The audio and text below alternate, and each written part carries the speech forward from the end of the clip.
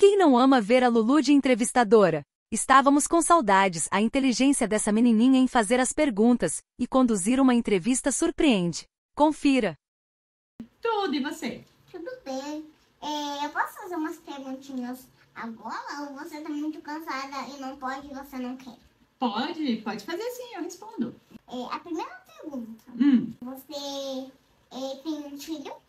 eu tenho uma filha de 3 anos, o nome dela é Luísa. Você dá café pra sua filha? Dou café da manhã pra ela todos os dias. Você dá café? Café, café preto, café. É. Não, não dou café pra ela. Você dá muito doce pra sua filha?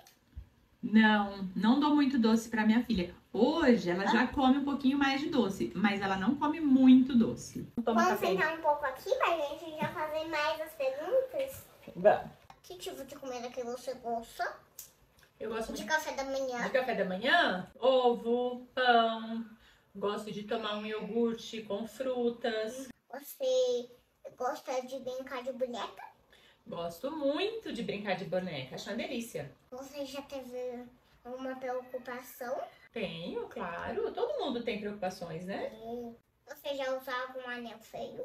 Já. Já usei. Ele era feio. Era. Gosta de cuidar da sua filha? Eu amo cuidar da Lulu. Ela é um presente, presente de Deus, pra mim e pro paizinho. Que legal! É.